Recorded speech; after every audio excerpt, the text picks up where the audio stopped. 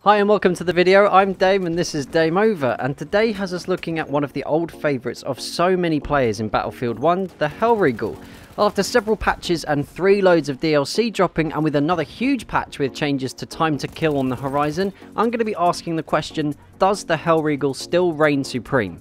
So if you find this video useful or entertaining, make sure you hit that like button before you go. I'm sure some of you are asking why bother to make this video now. Well, considering the recent patch to auto-aim and rotation that was implemented on console, thereby increasing the skill gap, and because of the recent weapons that have dropped that have seemingly leveled the playing field somewhat for each class, I thought it prudent to take another look at Battlefield 1's most popular weapon to see if it still deserves the number one spot. After a lot of changes over recent months to time to kill and damage being implemented for lots of different classes and lots of different weapons, the game's meta has been shaken up with lots of people choosing to use classes that were recently very unpopular and choosing weapons that don't sit within the very top 1% for popularity either.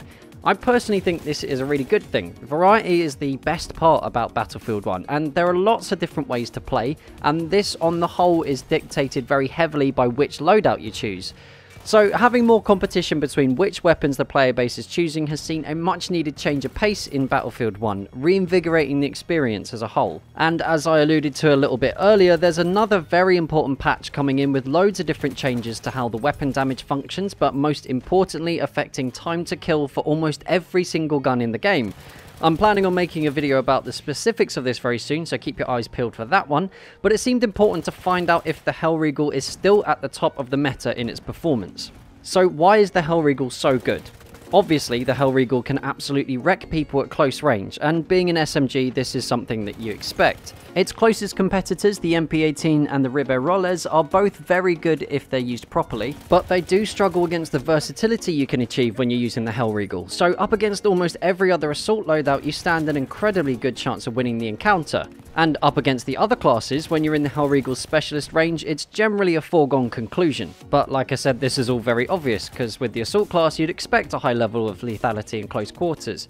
One aspect of the Hellriegel that really takes it to the top of the meta though is the fact that it works incredibly well in mid-range and even long-range fights. You can very easily compete with those people using the support class, as the visible recoil is quite easy to manage, and even against the mid-range specialist, the medic, you can cause a lot of problems as you're able to throw out so many bullets so quickly. Even at longer ranges, trigger tapping, you can still absolutely nail people. As long as you take your time and fire in two or three round bursts, you can still knock people down from ranges that you think shouldn't really be possible.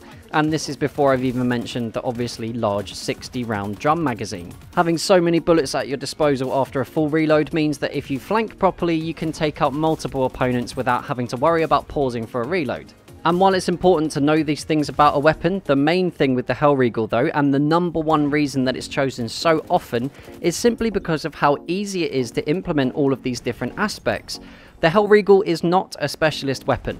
It's a jack of all trades, as I explained in my most used assault video way back when. The Hellriegel appeals to so many people because it doesn't require nearly as much skill as some of the other weapons to do very, very well. So if you consider this and then put the Hellriegel in the hands of a very highly skilled player, it's really easy to consider it overpowered, which I personally think it is. It's being used by more than 50% of the players that play as the Assault class, and this is across all platforms, and the Assault class has always been the most popular to use since the game's first release. It's very closely followed by the Scout class, so the majority of all Battlefield 1 players across all platforms are picking the Hellriegel as their primary weapon. And if you've seen my channel before, you know I use a large variety of weapons so I can showcase them to you guys, put out guides and stuff like that. But in my off time, if I feel like my team is struggling or I want to get more kills or simply want to have a more casual experience that doesn't need as much skill or pressure, then I choose to switch to the Hellriegel, or as I like to call it, go easy mode. I guess this brings up a couple of questions that I should ask you guys. Do you think that the Hellriegel is overpowered? In your opinion, is it too good compared to the other weapons? Is it too easy to use, and do you think it will still be able to compete after the next soon to drop weapon patch? Personally, I think it will still remain at the number one spot, as the ease of use won't reduce that drastically, and it's something that lots of Battlefield 1 players love to use, so it would be a really weird decision for DICE to make to change it at this stage in the game's life cycle. But that doesn't necessarily mean that it should stay at the number one spot. But that's just my opinion. I'd really like to know what you guys think, so make sure you let me know down in the comments below.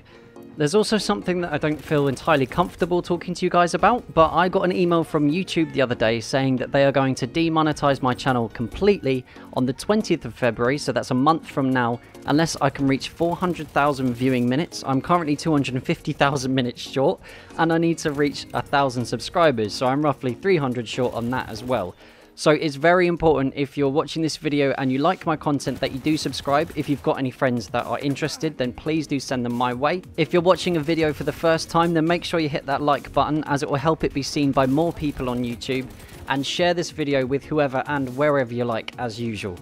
And I want to say a big thank you in advance to you guys for being so supportive. This little community we've created is incredibly encouraging, always. And I desperately hope that I can keep making content and we can continue to grow and carry on into the future.